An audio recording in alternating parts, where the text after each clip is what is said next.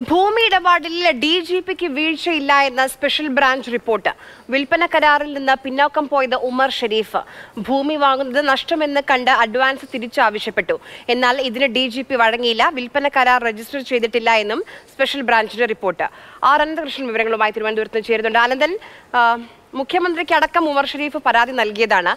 ഈ ഭൂമിക്ക് ബാധ്യതയില്ല എന്ന് വ്യക്തമാക്കിയിരുന്നല്ലോ. പക്ഷേ ഭൂമിക്ക് ബാധ്യതയുണ്ട് എന്ന് പിന്നെ കണ്ടെത്തി എന്നാണ് ഉമർ ഷരീഫ് പറയുന്നത്. ഇപ്പൊ ക്ലീൻ ചിറ്റ് എങ്ങനെയാണ് ഡി ജി പിക്ക് ലഭിച്ചത്? ആര്യ ഭൂമിയിടപാടുമായി ബന്ധപ്പെട്ട് ഡി ജി പി എത്തിപ്പെട്ട വിവാദം. ഇതുമായി ബന്ധപ്പെട്ട് സംസ്ഥാന കേന്ദ്ര രഹസ്യാന്വേഷണ വിഭാഗങ്ങൾ അന്വേഷണം നടത്തിയിരുന്നു. ഇതിൽ സംസ്ഥാന സ്പെഷ്യൽ ബ്രാഞ്ചിന്റെ കണ്ടെത്തൽ ഡി ജി പിക്ക് ക്ലീൻ ചിറ്റ് നൽകുന്നതാണ്. ഈ ഭൂമി ഇടപാടിൽ ഡി ജി പിക്ക് ഇല്ല എന്നാണ് സ്പെഷ്യൽ ബ്രാഞ്ച് കണ്ടെത്തിയിരിക്കുന്നത്. ഈ ഭൂമി ഇടപാടിൽ നിന്ന് പിന്നോക്കം പോയിട്ടില്ല ഡി ജി പി. പകരം ഈ വസ്തു വാങ്ങാൻ ശ്രമിച്ച ഉമർ ഷെറീഫാണ് പിന്നോക്കം പോയത് എന്നാണ് സ്പെഷ്യൽ ബ്രാഞ്ച് കണ്ടെത്തിയിരിക്കുന്നത്. അതായത് സ്പെഷ്യൽ ബ്രാഞ്ചിന്റെ റിപ്പോർട്ടിൽ പറയുന്നത് ഈ ഭൂമി അത് ഡി ജി പി വിൽക്കാൻ ശ്രമിച്ചിരുന്നു. അത് സംബന്ധിച്ച് ആ വിൽപ്പന വിവരം അറിഞ്ഞുകൊണ്ടാണ് ഉമർ ഷെറീഫ് എത്തിയത്. അതിനുശേഷം എഴുപത്തിനാല് ലക്ഷം രൂപയ്ക്ക് വിൽപ്പന കരാർ ഉണ്ടാക്കുകയും ചെയ്തു. പിന്നീട് ഉമർ ഷെറീഫ് ഈ ഭൂമിയിൽ മതിൽ കെട്ടുകയും ഇത് പ്രോപ്പർട്ടിയായി ഡിവൈഡ് ചെയ്ത് വിൽക്കാൻ ശ്രമിക്കുകയും ചെയ്തു.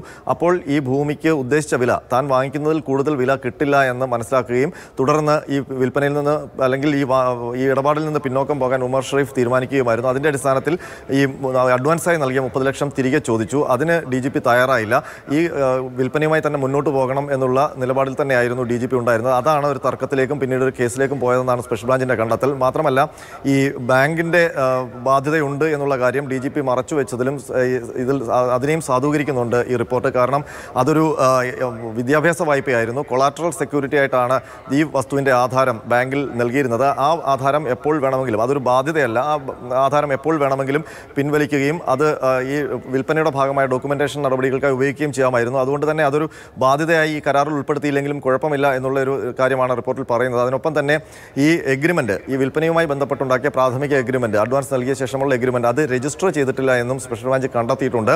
അതിനൊപ്പം മൂന്ന് അഞ്ച് ലക്ഷം രൂപ അഡ്വാൻസ് തുകയിൽ അഞ്ച് ലക്ഷം രൂപ നേരിട്ട് ഡി ജി പിക്ക് കൈമാറിയെന്നാണ് ഈ പരാതിക്കാരൻ ആരോപിച്ചിരുന്നത്. അക്കാര്യം ഡി ജി പി നിഷേധിച്ചു എന്നുമാണ് സ്പെഷ്യൽ ബ്രാഞ്ചിൻ പറയുന്നത്. ഒപ്പം തന്നെ ഈ പ്രശ്നം പരിഹരിക്കാനുള്ള അണിയറ നീക്കങ്ങൾ ഇപ്പോഴും സജീവമായി തുടരുകയാണ്. ഇന്നലെ മുതലാണ് ഇതിന്റെ മധ്യസ്ഥ തുടങ്ങിയത്. ഇന്നലെ ഡി ജി പിയുമായി ബന്ധപ്പെട്ട് അല്ലെങ്കിൽ ഈ പ്രശ്നം പരിഹരിക്കാൻ നിയോഗിക്കപ്പെട്ട മധ്യസ്ഥർ ഇന്നലെ ഈ പരാതിക്കാരൻ ഉമർ ഷെരീഫിനെ കാണുകയും ഇതിന്റെ കാര്യങ്ങൾ സംസാരിക്കുകയും ചെയ്തിരുന്നു. ഇന്നലെ തന്നെ മുപ്പത് ലക്ഷം മടക്കി നൽകി പ്രശ്നം പരിഹരിക്കാനാണ് ശ്രമിച്ചിരുന്നത്. പക്ഷേ ഇന്നലെ ആ പണം മടക്കി നൽകിയിട്ടില്ല. ഇന്ന് ഒരു പക്ഷേ അതിനുള്ള ശ്രമങ്ങൾ ഉണ്ടായേക്കും. ഇന്ന് തന്നെ ഒരു പക്ഷേ മുപ്പത് ലക്ഷം മടക്കി നൽകി പ്രശ്നം പരിഹരിക്കും എന്നാണ് സൂചിപ്പി സൂചന ലഭിക്കുന്നത്. ഏതായാലും ഉമർ ഷെരീഫ് ഇനി പുതിയ ഏതെങ്കിലും തരത്തിലുള്ള മറുപടികൾ ഡി ജി പിയുടെയോ അല്ലെങ്കിൽ മധ്യസ്ഥരുടെ ഭാഗത്തു നിന്ന് ലഭിച്ചിട്ടില്ല. എന്താണ് അവരുടെ തീരുമാനം എന്ന് അദ്ദേഹം കാത്തിരിക്കുകയാണ്. ആര്യ. ശരി എന്തായാലും ഡി ജി പിക്ക് ഇപ്പോൾ ക്ലീൻ ആ, ക്രൈം സ്പെഷ്യൽ ബ്രാഞ്ച് നൽകി നൽകുന്നത്. ഈ ഭൂമി ഇടപാടുകളിൽ ഡി ജി പിക്ക് ഒരു തരത്തിലുള്ള വീഴ്ചയും ഉണ്ടായിട്ടില്ല എന്നാണ് സ്പെഷ്യൽ ബ്രാഞ്ചിന്റെ കണ്ടെത്തൽ.